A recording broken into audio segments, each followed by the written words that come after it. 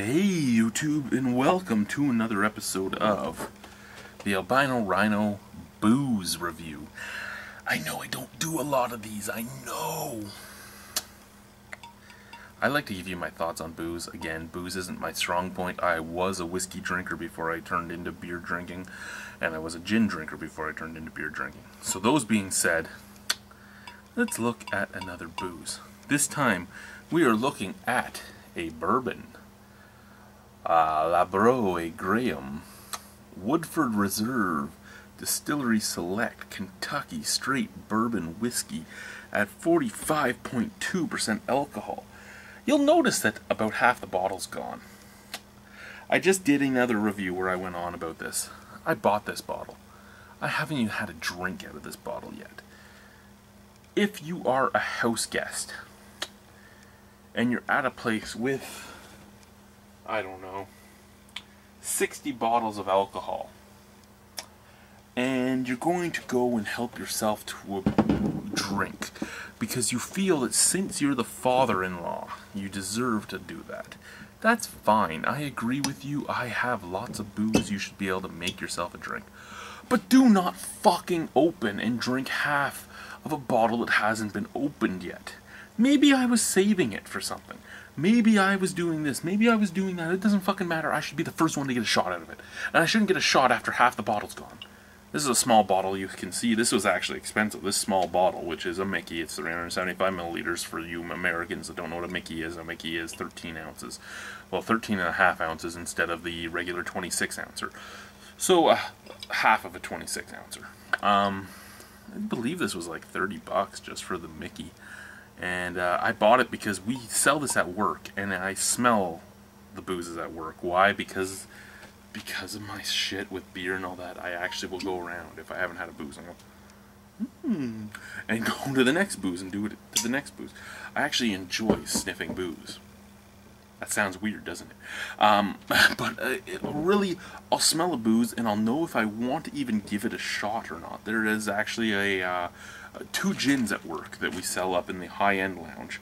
And one gin I really want to try, and one gin I do not want to go near because of what I've smelt out of the bottle. And I'm glad I sniffed them because they're both like $60 gins. So one of them I will pay the 60 bucks for at some point in my life, and the other one I will never pay the 60 bucks for. So that being said, let's try some Woodford Reserve bourbon, which is a bourbon that I actually do enjoy the scent of and have bought specifically because of the scent. So you can see nice golden color, uh, almost honey, almost a honey color, right? Like, like a honey color, yeah, I like a honey color. Nice cork, put the cork in, put that there up there. So here we go with the Glencairn glass. Some Cairn, then Cairn. Ooh.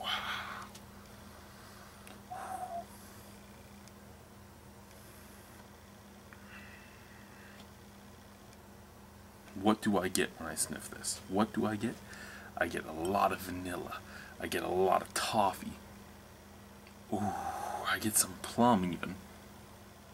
Plum, vanilla, toffee, paint thinner. You can't deny the paint thinner. I mean, it's 45.2% alcohol. It's overproof. It does have a very alcoholic scent. And these glasses do not help to hide an alcohol scent. They really don't.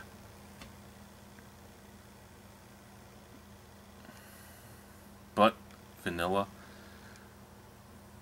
toffee, plum, alcohol.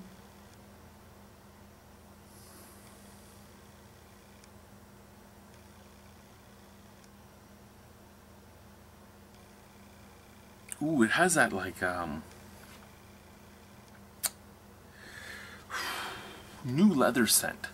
Um it has that new leather scent like when you say go to when you walk into Danier leather and all you you get assailed by the smell of all those leather coats or you buy a new car with leather seats or you buy a new leather love seat and the first time you sit on that leather couch and you push the air out of that couch and it all assails your nostrils it's a beautiful scent let's try it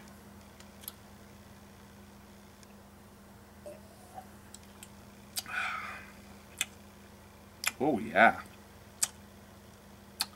Okay, so I reviewed Crown Royal uh, Crown Royal Black. Not nearly even close to the same quality as this.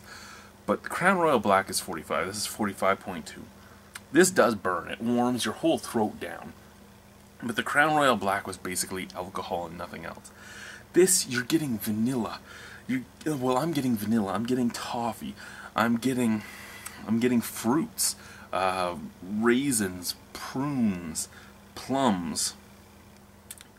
I am getting wood, straight up wood. You are getting the barrel that this has been aged in you are like uh, virgin oak almost. Um, I don't know if they char their oak. I don't know what they do with their oak, but it tastes like a virgin oak barrel. Just, just woody, just very woody. Um, this is a beautiful bourbon. I'm actually glad I picked this up.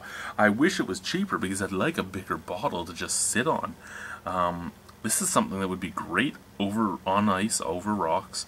Um, on the rocks, I could just see this being beautiful. I mean, you, you cool it down so it's going to be nice and cold, and you water it down so you pick up more of the flavors and get less of the burn.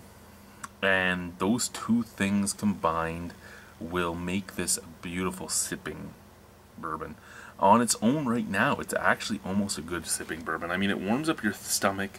The, the throat warms up with the second you sip it, but that's a, that's about it. After you sip it, it's it the, the warming is gone.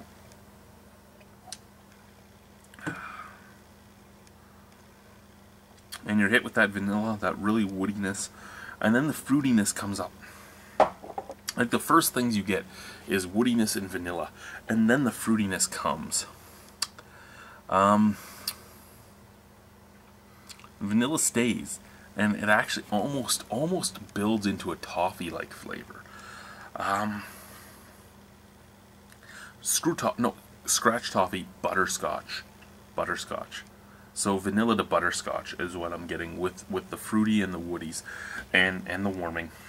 This is beautiful I actually really enjoy this out of 10 on the Woodford Reserve easily easily like an 8 an 825 I really enjoy this stuff.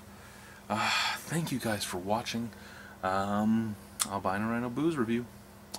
Bye.